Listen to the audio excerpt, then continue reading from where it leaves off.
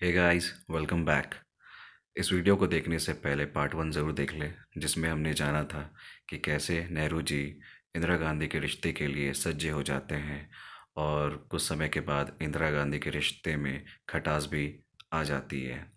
उसी दौरान 8 सितंबर 1960 को जब इंदिरा अपने पिता के साथ एक विदेश दौरे पर गई हुई थी, तब फिरोज़ गांधी की मृत्यु हो गई। इंदिरा गांधी को परिवार के माहौल में राजनीतिक विचारधारा विरासत में प्राप्त हुई थी। 1941 में ऑक्सफोर्ड से भारत वापस आने के बाद वे भारतीय स्वतंत्रता आंदोलन में शामिल हो गई। सन 1947 के भारत विभाजन के दौरान उन्होंने शरणार्थी शिविरों को संगठित करने तथा पाकिस्तान से आए लाखों शरणार्थियों के लिए चिकित्सा संबंधित देखभाल प्रदान करने में मदद की। उनके लिए प्रमुख सार्वजनिक सेवा का यह पहला मौका था। धीरे धीरे पार्टी में उनका कद काफ़ी बढ़ गया। बयालीस वर्ष की उम्र में उन्नीस सौ उनसठ में वह कांग्रेस पार्टी की अध्यक्ष भी बन गई। इस पर कई आलोचकों ने दबी ज़ुबान से पंडित नेहरू को पार्टी में परिवारवाद फैलाने का दोषी ठहराया था।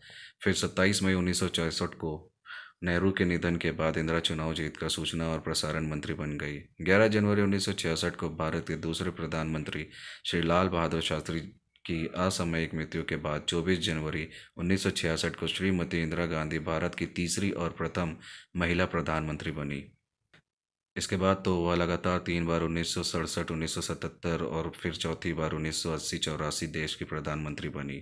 उन्नीस सौ सड़सठ के चुनाव में वह बहुत ही कम बहुमत से जीत सकी थी, लेकिन उन्नीस सौ इकहत्तर में फिर से वह भारी बहुमत से प्रधानमंत्री बन गई और उन्नीस सौ सतहत्तर तक रही। उन्नीस सौ सतहत्तर के बाद वह उन्नीस सौ अस्सी में एक बार फिर प्रधानमंत्री बनी और उन्नीस सौ चौरासी तक प्रधानमंत्री के पद पर रही। सोलह वर्ष तक देश की प्रधानमंत्री रही इंदिरा गांधी के शासनकाल में कई उतार चढ़ाव आए।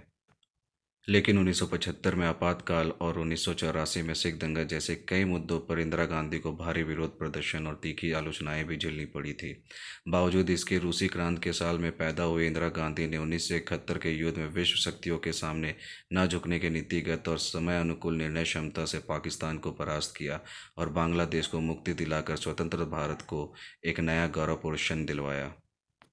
लेकिन इकतीस अक्टूबर उन्नीस सौ चौरासी को उन्हें अपने अंगरक्षक की ही गोली का शिकार होना पड़ा और वह देश की एकता और अखंडता के लिए कुर्बान हो गई। So thank you for watching जय हिंद।